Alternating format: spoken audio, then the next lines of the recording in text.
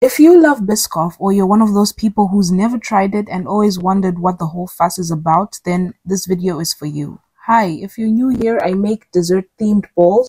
I try out different things to see what works and what doesn't. So let's start. I was really excited to make this because I love Biscoff.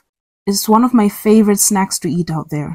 I started out with the Biscoff biscuits, and these are great by the way. Sometimes I just make like cookie sandwiches with the Biscoff spread and then just put it in between, and I enjoy it like that. So I put them in a Ziploc bag and smashed them around to make biscuit crumbs. It was perfectly easy to do it with my hands because they are quite big, so they smashed easily. And we're gonna use that for the garnish on top later. And I recently discovered these Biscoff ice creams. I didn't think they were available here, but to my surprise, I found them.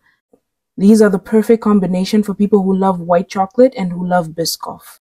And of course, the main character. We can't have a Biscoff dessert without the Biscoff spread. So I just put it in a squeeze bottle and I just melted it for the drizzle later. I just used a basic vanilla ice cream because then again, I don't think I can find any Biscoff ice cream tubs. So we're just going to use that as the base this is a good ice cream, by the way. I don't think there are any bad brands that make vanilla ice cream because it's such a basic flavor, so it basically works with anything else.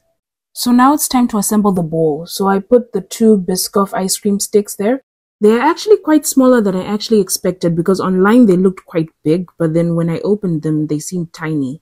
But I'm not complaining. And then the Biscoff biscuits, the Lotus Cream biscuits are actually pretty nice. They're pretty good. They're not as good as the plain ones, in my opinion, but they actually taste better with ice cream.